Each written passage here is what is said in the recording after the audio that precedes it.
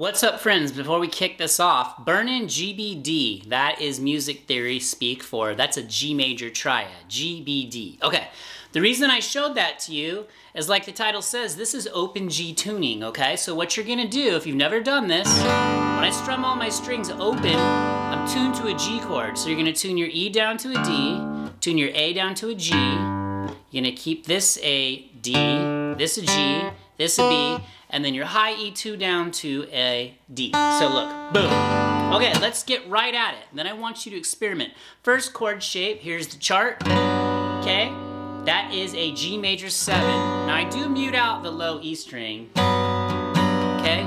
Very easy, I'm on the fourth fret on the D, then I just drop my second finger on the fifth fret, that's a G. So again, there's the chart for that, boom, two chord, so it's just kind of building up your chord vocabulary in an open tuning. Because once you tune to an open tuning, all your chord shapes are out the window. So here we got the first one, G major 7, drop here, G, G major 7, G. And they sound, these chords, you're hearing it, they sound fantastic. All right, second, third chord shape, okay? Right here on the second fret, Look at the chord chart. I'm putting my first finger on the A on the second fret. I'm putting my second finger on the B on the second fret. Strum them all except for the low E.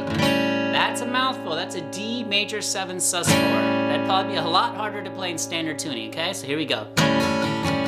You strum it however you want.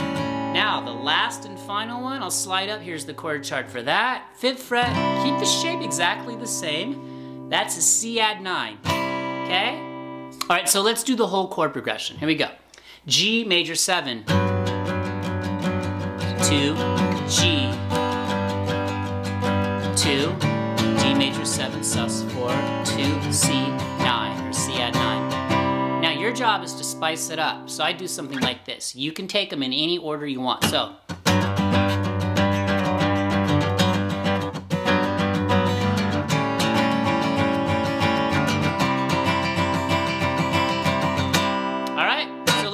this up. Sweet and to the point. You got this. All right, my friends, just to rehash. G major triad are the notes G, B, and D. You're in open tuning. It's like taking a G chord, but with your open strings. I showed you four chord shapes, okay? We did G major 7, G, D major 7 sus 4, and C add 9. Now your job is to be musical and move those around, all right? So Drop me a comment, drop me a question. I'm here to help you. We're growing fast. Please check out some of the links in the description. That's how I support myself with uh, coffee. All right, and somewhere over my shoulder here, I'm gonna throw a link to the playlist. I'm trying to load up these five minute lessons that I guarantee just start watching them all. You're going to increase your musical vocabulary you're going to just get better as a player. And I really need your feedback, like a lot of you have given me, so I know what to make for you. This channel's relatively new, and I'm here and you're out there somewhere, but I wanna help you, all right? So remember, only you can stop you. I will see you in the next video.